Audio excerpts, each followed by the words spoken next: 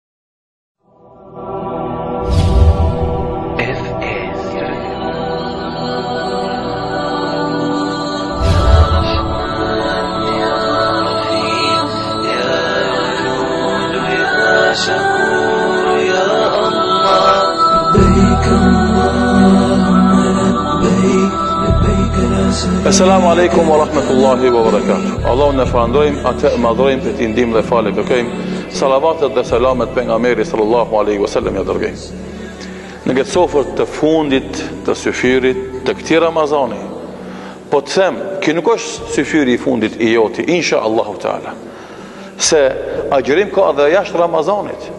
Pas përfundimit të Ramazanit vjen menjëherë agjërimi i gjashtë ditve të shevalit, që Pejgamberi sallallahu aleyhi vësallem ka thonë kush e agjëron Ramazanin, dhe e pason me gjashtë ditët e shevalit, i llogaritet sikurse të ketë agjëruar tërë vitin.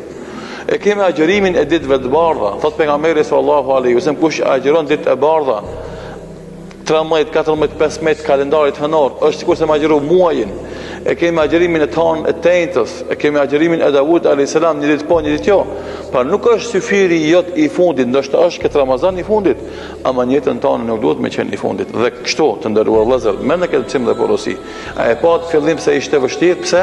Se asnjë ditë mas Ramazanit t'kaluar s'ke agjëru vullnetarisht. Dhe për këtë shkak, nëse ti agjëron vullnetarisht së paku, ditët e bardha të muajit, apo dhjetshin e muajit Muharrem, apo ditën e Arifes ose Arafatit për ata që nuk janë haxhilerë, që ka shpërblime të mëdha dhe faljet e gjynahave, Nëse ti edukohesh në agjërim, kur të vjen Ramazani e ke lehtë.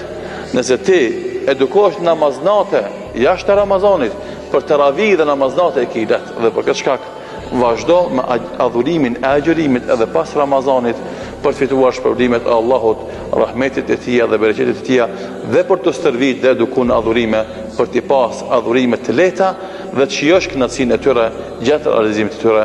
Allahu na bëftë të këtillë Na dhashtë durim në adhurime, qëndresë në to, na ndihmoftë në realizimin e tyre dhe u bëfshin sebeb këto adhurime për t'fitu kënaqësinë e Allahut dhe xhenetin e Tij.